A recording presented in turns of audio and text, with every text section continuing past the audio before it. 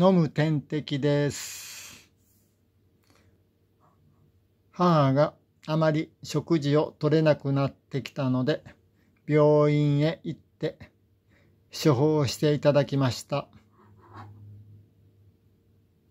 これが飲む点滴のコーヒー味になります。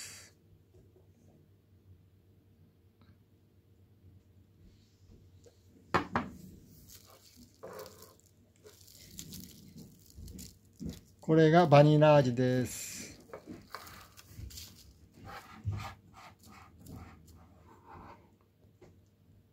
これがいちご味です。